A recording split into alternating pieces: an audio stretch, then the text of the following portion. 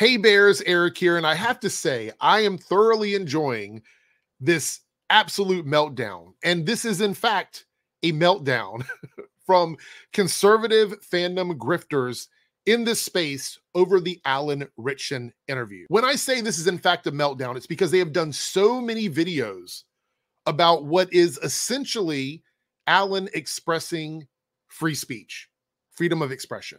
They're having an utter implosion of their minds and it's quite entertaining. It's actually very exquisite. They're having an implosion of their minds because he is expressing free speech. Um, if you're not caught up with this, he was very critical about Trump and MAGA, pretty much condemned it. Uh, he talked uh, extensively about what he thought in regards to the Catholic Church, stuff going on in there. And trust me, like, honestly, I'm shocked they're going in so hard considering that's all documented stuff and it was actually a lot of things happening. But no, that's not enough. They don't care about any of that. You're he's not allowed to talk about that either. And this is a man who is a very open Christian talking about this. They're, they're going in on that. He talks about police reform. He, he supports BLM. Like he, he's all these things that he's been doing for a long time just happened to be in this interview. And they're losing their minds because their fave isn't faving anymore. It's giving. It's not you, it's me. I'm breaking up with you on a text message. That's really like essentially what's happening here. And it's really weird because, again, this is pretty much just an argument about his free speech rights. And this community, what I'm talking about, the conservative community here on YouTube, um, they act like champions of free speech. But the reality is they don't actually believe that. For them, it's not about free speech. It's about people in the conservative spaces being able to say what they want to say. But if you're someone that speaks uh, alt to that, if you're an op, they don't want to they don't want to give you that same or afford you that same luxury of free speech. I myself am also a supporter of free speech. Uh, where that gets a little muddy is that I also believe in accountability. So, free speech, accountability, I think those things walk hand in hand, but I am absolutely 100% a supporter of free speech. Also, if you would like to make a difference with this YouTube algorithm that pushes a lot of this negative content to the top of the search features, and you want to diversify it let alternate voices be heard in that algorithm, you can do so by subscribing to the channel and joining the revolution today. Leave a like, leave a comment down below. We're already seeing the impact of it. These channels are being affected, and we're seeing less and less of that negative content at the top of search results. So we're making a difference. It is working. So please do that and check out my description box for more content creators that are also doing the same thing. So we're going to watch a video here from one of the dregs. This is the bottom of the barrel when it comes to YouTube. It's Josiah Rises, um, who is just sort of he, pretty much making content to make money off of outrage material. This is pretty much part of the course for YouTube at this point. Uh, but he's the bottom of the, like the ladder. Like you talk about like like all the bosses ahead of him. He, he's at the very bottom, uh, but he's still trying. Got to give him credit for trying, I guess. Anyway, uh, his title here is woke actor has crazy meltdown. Well, you know he's not really having a meltdown. I mean, he's pretty confident what he's saying. I think that bothers you guys a lot. You're the ones having a meltdown over him after the police put him in his place. Uh, and so I'm not going to read the rest of the title. Anyway, it's a short video, three minutes and 45 seconds. Let's get into it, debunk it, and then um, there's a twist here as well.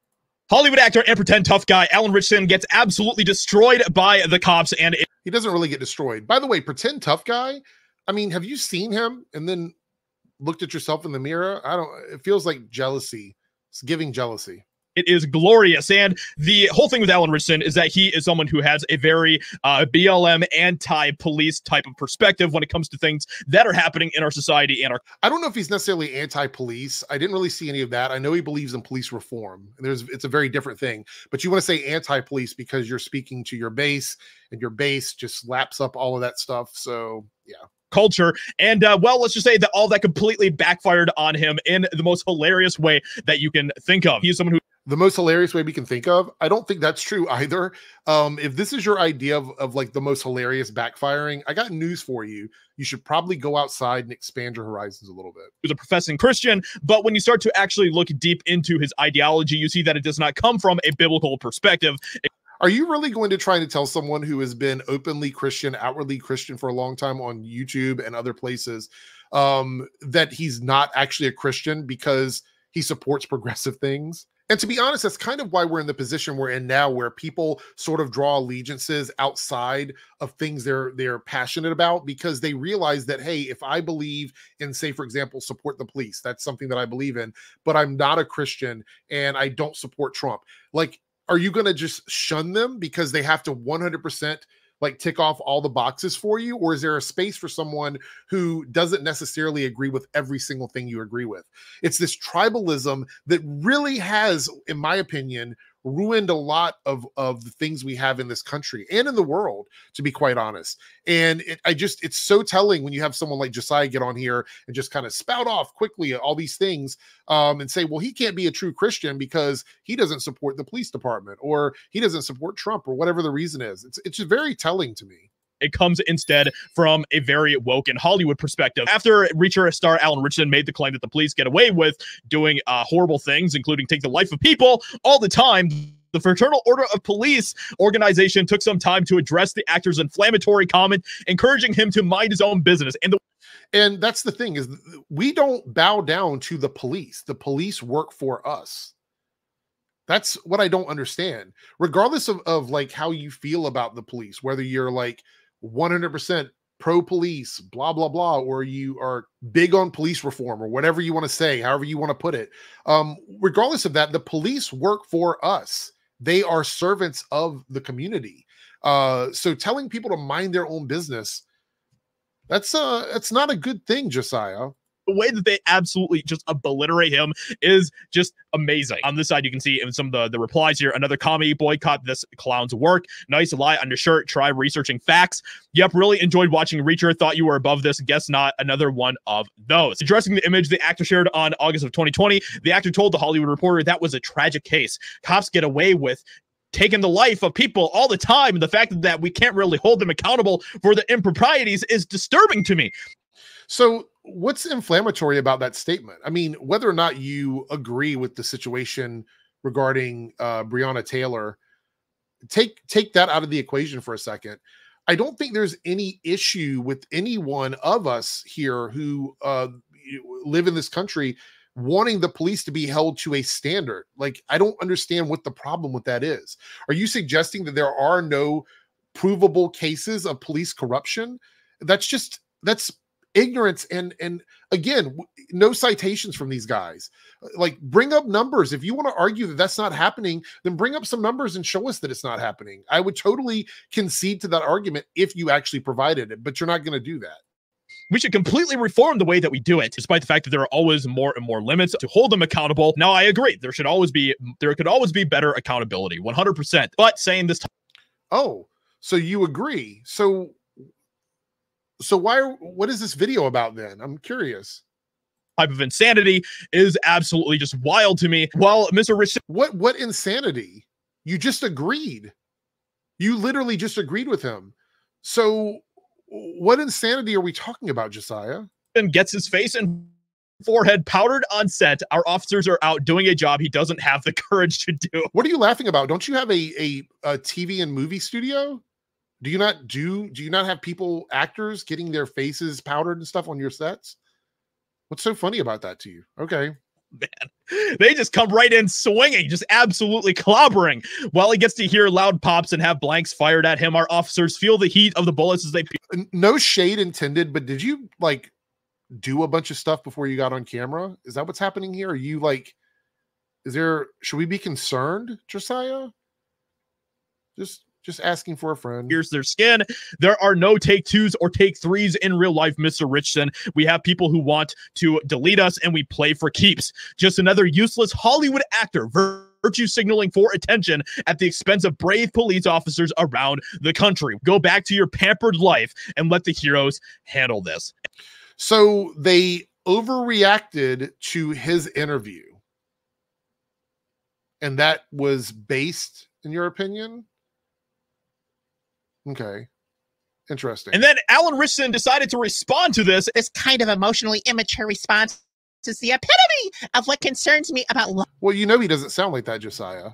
So what is who's whose voice is this? Whose voice are you doing? I'm very curious. Um, yeah.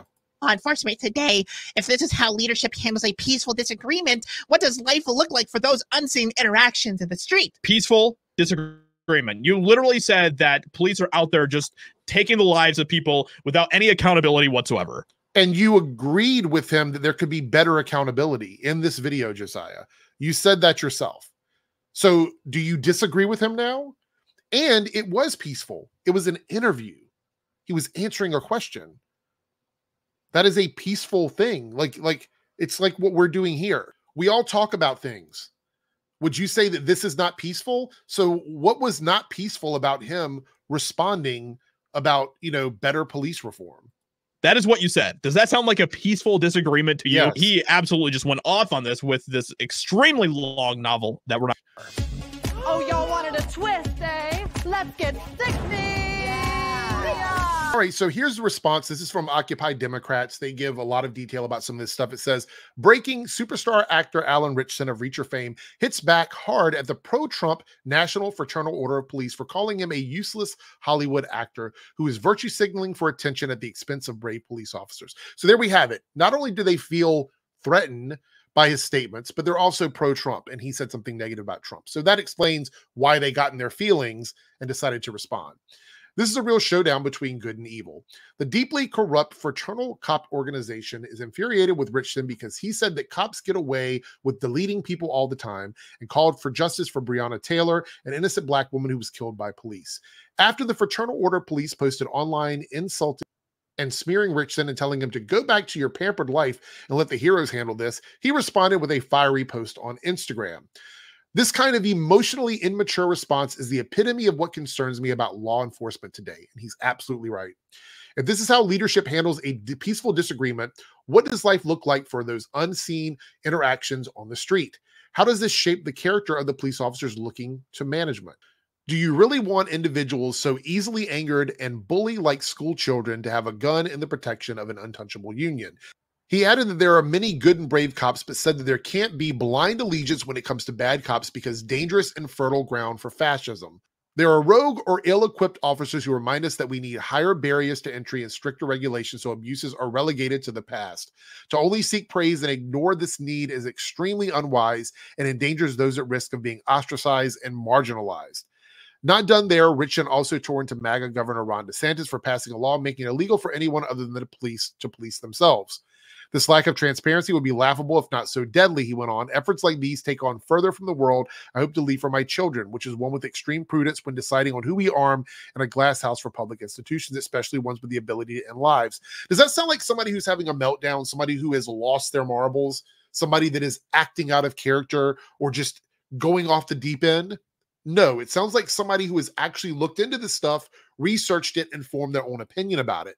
Now, whether you agree or disagree with him, he should be able to say it. And organizations firing back at him, especially a police organization who does have an air of authority, coming back at a private citizen and saying those kinds of things is overreach. It's also weird to me that they're acting like Reacher has not covered corrupt law enforcement before.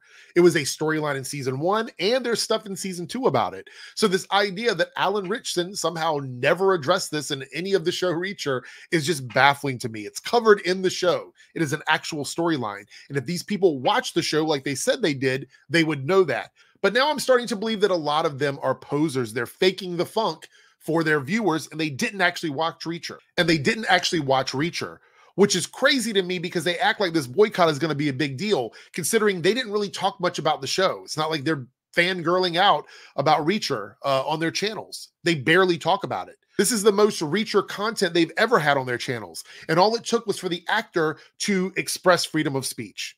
Imagine that.